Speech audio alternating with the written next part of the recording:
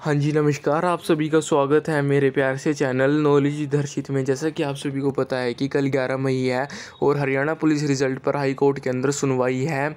तो कल क्या फैसला आएगा? हम आपको आज ही बता देंगे। सूत्रों के हवाले से बड़ी खबर आई है।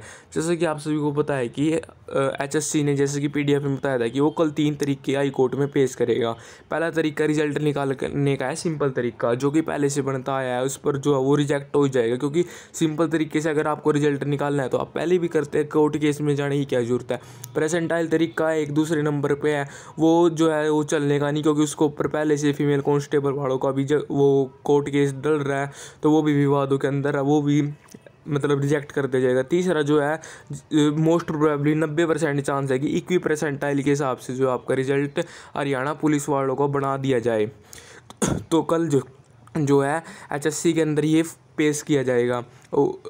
एच एस सी जो है वो हाई कोर्ट के अंदर पेश करेगा ये तरीका तो अब जो है हाई कोर्ट थोड़े दिन का जो है अगली डेट देगा और उस अगली डेट पर जो है वो सुनवाई होगी और उसी जो अगली डेट होगी उसके अंदर ही जो है फैसला लिया जाएगा कि किस तरीके से आपका रिज़ल्ट आएगा। कल जो है अगर एच एस सी ये तीनों फॉर्मूले पेश करेगी तो हाई कोर्ट अगर तीनों पर बिल्कुल असहमति जता देती है तो एचएससी को जो है और नए चौथे या पाँचवें फॉर्मूले लाने होंगे।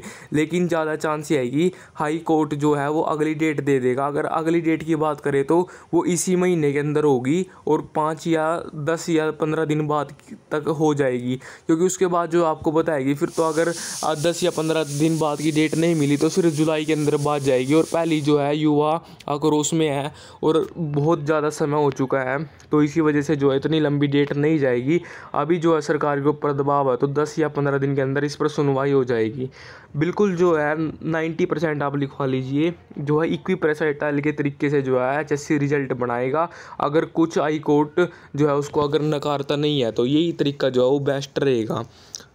और ये बिल्कुल पहली बार जो है एच एस सी तरीका अपनाएगा किसी भी भर्ती के रिज़ल्ट निकालने के लिए।